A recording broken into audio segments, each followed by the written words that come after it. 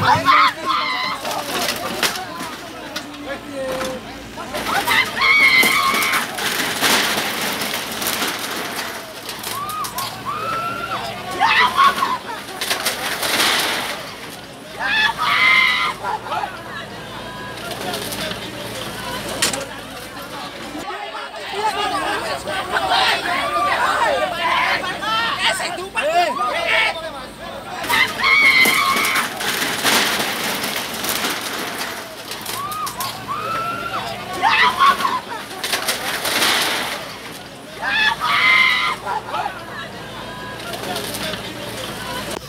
Manggon ning dingin iki, Mbak. Udah berapa tahun Bu di sini? Hampir 13 tahun. Hampir 13 tahun.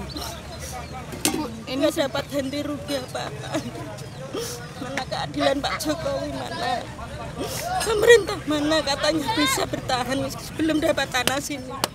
Ini tanah belum dibagi disuruh nempatin. Gimana Mbak?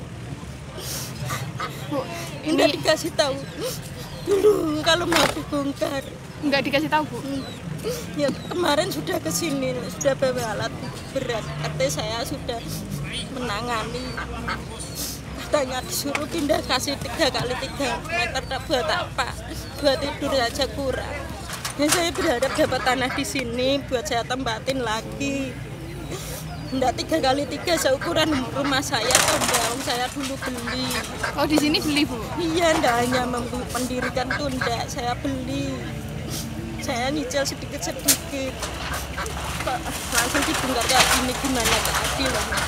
Selanjutnya mau gimana Pak? Inilah kesewenang-wenangan pemerintah Kota Semarang Ini soalnya yang kita eh, melakukan yang senantiasa mendolimi kami.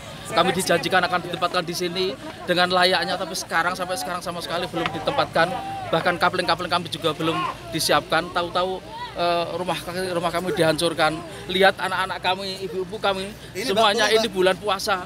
Kami mohon dihentikan dulu melalui Pak Wali Kota yang terhormat, yang punya nilai, yang punya hati nurani yang peka terhadap rakyatnya, mohon dihentikan untuk kemaslahatan bersama.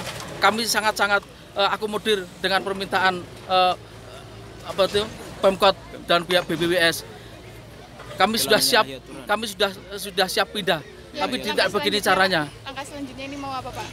Ya kami belum tahu langkahnya. Kami mungkin akan nangis di sini atau minta per- minta perlindungan pada Allah Subhanahu wa taala untuk eh, kebaikan mereka semuanya. Pemkot